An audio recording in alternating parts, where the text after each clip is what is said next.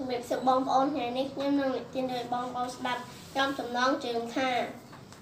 រឿងស្វានិងសត្វតូច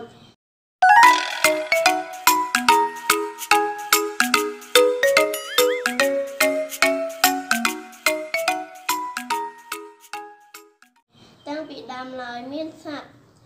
ស្វាមួយតែងតែចូលចិត្តលោតតោងមេឈើពី ដើមមួយទៅមួយទៀតនៅក្នុងព្រៃថ្ងៃមួយវាក៏បានជួបនឹងសត្វតូចមួយក្បាលស្វាខឹងយ៉ាងខ្លាំងដោយគិតថាគេមកដណ្ដើមកន្លែងខ្លួនក៏ចាប់ផ្ដើមឆាវឆៅ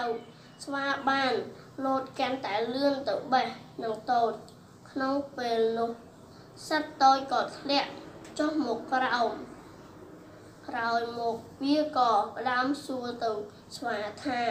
ហេតុអ្វីបងមកបេះខ្ញុំយ៉ាងនេះខ្ញុំក៏ជាសត្វរស់នៅក្នុងព្រៃនេះដែរបើមានសត្វណាមកធ្វើបាបបងស៊ីអញ្ចឹងតើបងមានអារម្មណ៍យ៉ាងណាដែរបងប្រកាសជាឈឺនឹងមិន ចូលចិត្តគេទេ ពេលនេះខ្ញុំក៏មានអារម្មណ៍យ៉ាងនោះដែរថ្លៃពីសត្វស្វា ពេលដែលវាឮសំដីសត្វតូចវាក៏បានដឹកនៅកំហុសហើយក៏បានសុំទោសតូចក៏បានអភ័យទោសដល់ស្វាចាប់ពីពេលនោះមកស្វានិងសត្វតូច បានរស់នៅជាមួយគ្នាក្នុងព្រៃរហូតមកតើក្នុងរឿងនិទាននេះគេចង់អប់រំយើងអំពីអ្វី